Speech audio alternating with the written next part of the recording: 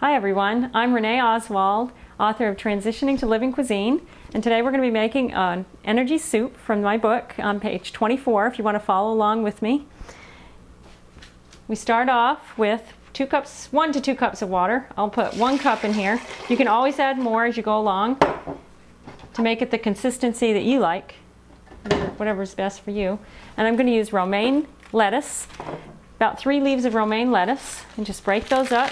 Put those right in the blender. This is a nice high-speed blender, the Vitamix. And this makes the most delicious soups. As you progress, you may want to use more greens, but start off with two or three leaves to start with. Okay, I'm going to whip this up real fast.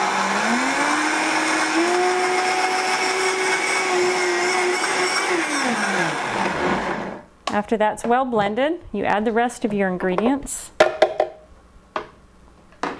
which is one cucumber, just cut it up into about one and a half inch pieces.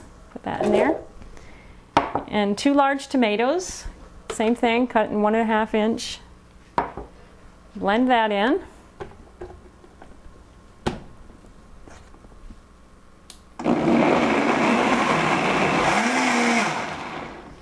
We're going to add oh, an avocado. This is a large avocado, so I'm going to use about half of this.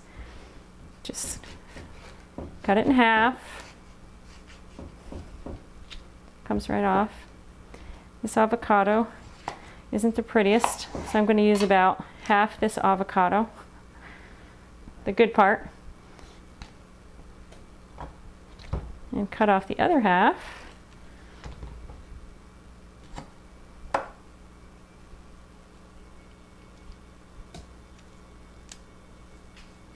And I'm going to use chickpea miso in this recipe, but if you don't have that, you can use sea salt. This is the chickpea miso. It's made from garbanzo beans. It's a fermented product. It's really great. It gives it a salty flavor. And I'm going to put two tablespoons of lemon juice in there and three sun-dried tomato halves that I've soaked in water for about 15 minutes to soften them and a little bit of cumin and cayenne, just a small amount of cayenne and chili powder, and that's what gives it the taco flavor. And also one stalk of celery. And this is ni a nice stalk, that's how you know it's nice and fresh. It still has the nice green leaves on it. Go ahead and put those leaves in there also.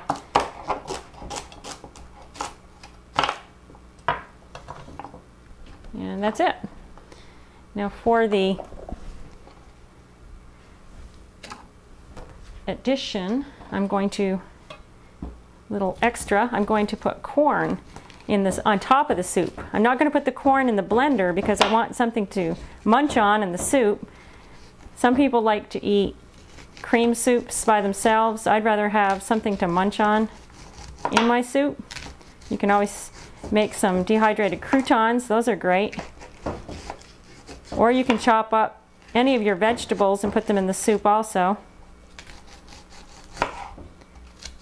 Sometimes it's easier to cut corn with a serrated knife. Just cut the corn off the stalk, off the cob. There we go. And you can put that in your soup when you're done.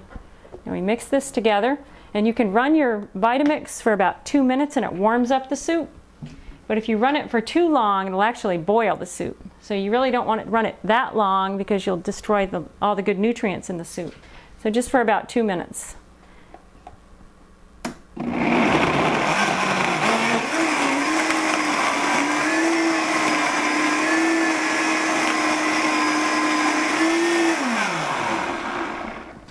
There you go. And it's done. You're ready to eat. This is your taco soup.